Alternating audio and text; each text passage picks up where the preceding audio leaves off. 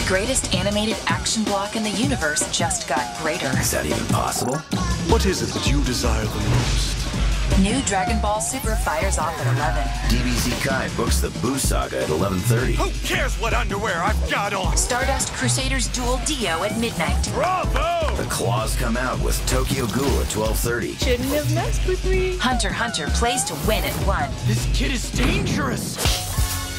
The world's greatest thief, Lupin III, goes on the run at 1:30. Now this is thrilling. We'll never make it! The. Shinobi of Shippuden annihilated at 2. Yes, just leave it to Naruto. T minus 10 to critical.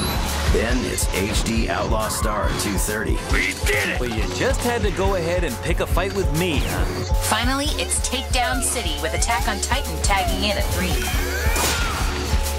Toonami every Saturday night from 11 to 3:30.